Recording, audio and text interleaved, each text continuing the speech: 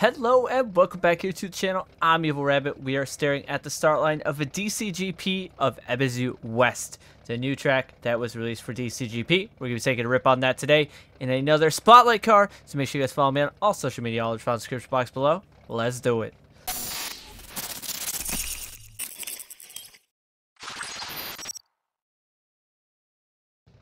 So for today's we spotlight, we do have a BMW. So of course we have the right shoes. This is TDS Lemons E36. It is a DCG based car with modeling and updates done by Benny's Garage. It definitely is a very aggressive car. I do like uh, all the lemons on the sides. And it's just a amazing looking car.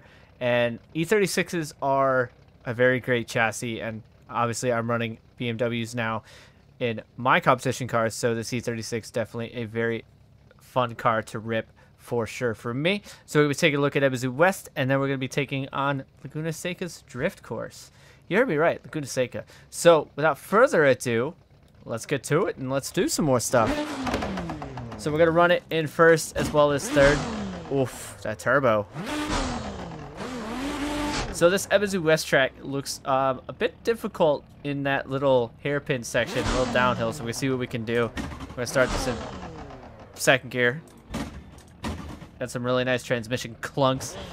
See if we get through these chicanes. DCGP chicane's pretty small. Fifth gear. Trucking it in. Oh, we did not brake soon enough. But we're to run the track and see if we finish this up did not slow down enough initially. I love how this car sounds. I love the transmission whines and the diff whining.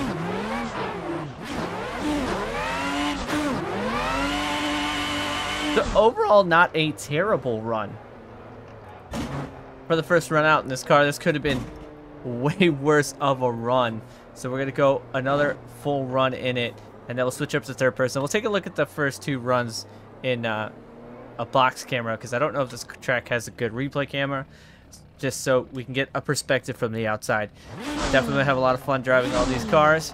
And so another comp spec car. So we get out of this gate again. Nope, there's a cone hit.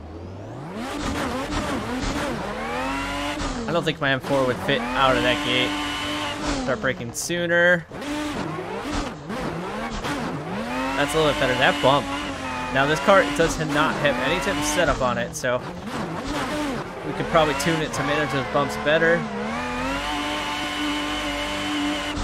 Try to bring it out into that outer zone. Fell out of it towards the end. But not too shabby of a run. So now we're going to go out in third person and drive this course. Falken tires. Oh, oh, we're in the grass. Sorry, Lemon. Ugh. We almost just, uh, biffed Lemon's car into the wall. So he did tell me to drive the crap out of this car, so that's what we are trying to do. Like I said, we're going to Laguna Seca Drift Track next, which utilizes a very interesting portion of that track. So third person run here, full send.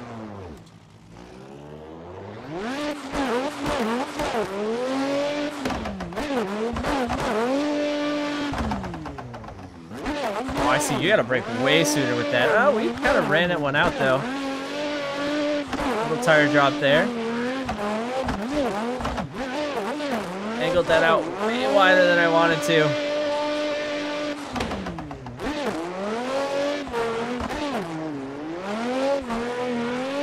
probably should have been down into fourth on that final uh, little section, which we're going to actually run that again and probably downshift into fourth on that section. Don't want to go into the dirt again. So entry, you do got to start slowing down pretty, uh, pretty substantially quick to get that hairpin right, especially with that little downhill section. So one more run here. We'll take a look at those replays.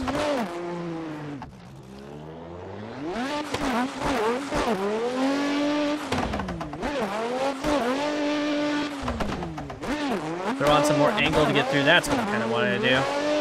Don't break more. Throw on some more angle. Probably what the judges would want to see anyways. Bring that one back in. That's a much solid over a run.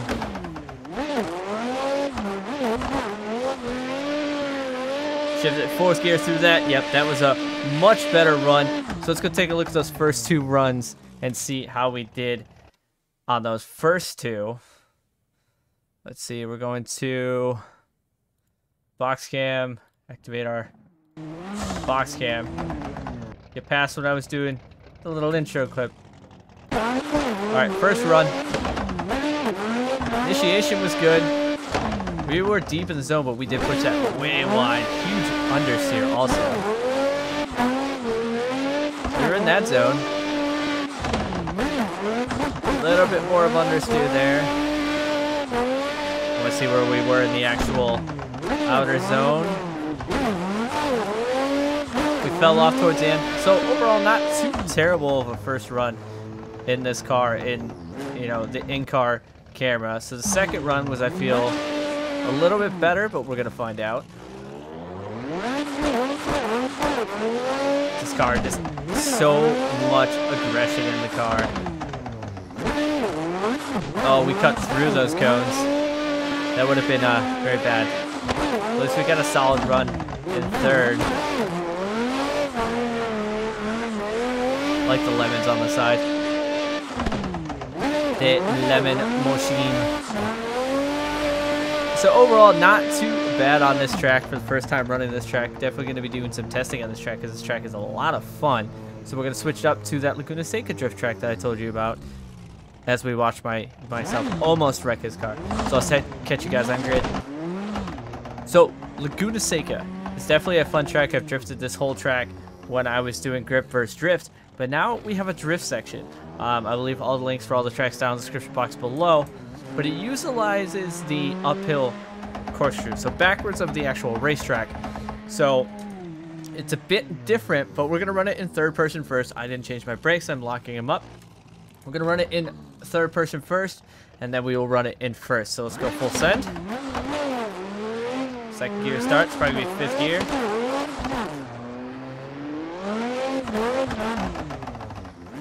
Kind of a late wonky initiation, but oh, we're we're dirt dropping there. Trying to get out to that zone. Don't touch it, go on the wall. That would be a fourth gear downshift going up there. And up to the top. So it's definitely a very aggressive track. And uh, probably fun to run it the other way. Let's see. Run it the other way. Coming in down in that wall is actually aggressive.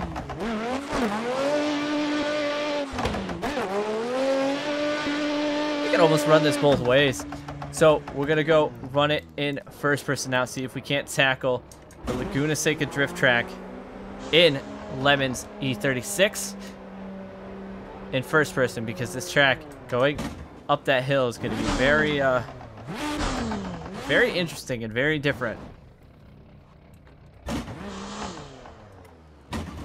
Like I said, I will leave all links in the description box below for these tracks.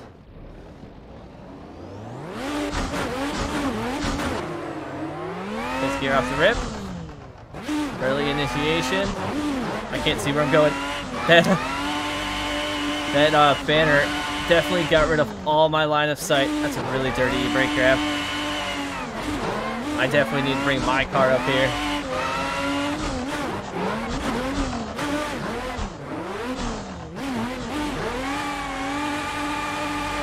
Overall, not too bad. Definitely was not the cleanest on that initiation part. And I do need to do some tuning to this car if I want to make it like perfect for my style of driving. So I want to thank you guys for coming back and watching another episode. Make sure you guys follow me on all social media. All this found in the description box below.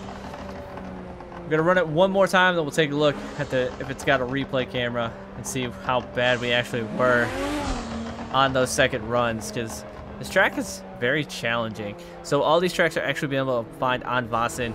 If you um, do not know about Vosan, I'll leave the link down there as well for all the competitive tracks, car packs, and stuff like that.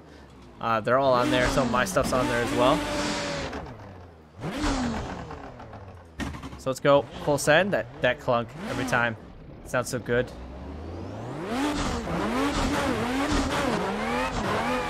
Good here.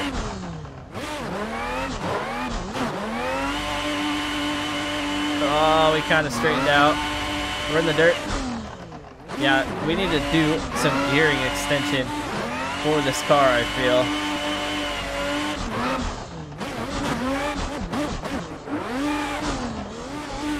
Definitely a very aggressive track, so let's go take a look and see if we do have some replays. We do have a judging camera. So I think this might have been the first one, so we're taking a look at the judging camera. Initiation was pretty good, and then yeah, we lost it there. Definitely needed to uh, change some gearing to get this car to run full here. But like I said, not a tune setup. Definitely going to bring my car out here and see what my M4 or my United 2 practice car can do because uh, this track is fun. Maybe pull on some of the guys and see if we can't get some tandems because uh, I feel like this could make for a very interesting tandem section. AC Drift France is uh, the series that is using this track. So a big thank you to TDS Lemon for giving me the keys or the push button to his E36 comp car. Definitely uh, hope I drove it. Probably not as good as him because, like I said, everybody's car is totally different. Definitely need some more time in it to get it solid. But it was an aggressive car, so big thank you to him. And uh, Benny's Garage looks like did amazing work on the car. So make sure you guys follow me on all social media. All is found in the description box below. As always, I thank you guys for coming back and watching. I'm Evil Rabbit. I'll see you guys on the track.